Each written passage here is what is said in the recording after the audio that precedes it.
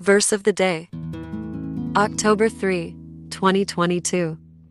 For what the law could not do, in that it was weak through the flesh, God sending his own Son in the likeness of sinful flesh, and for sin, condemned sin in the flesh, that the righteousness of the law might be fulfilled in us, who walk not after the flesh, but after the Spirit. Romans 8 verses 3 to 4.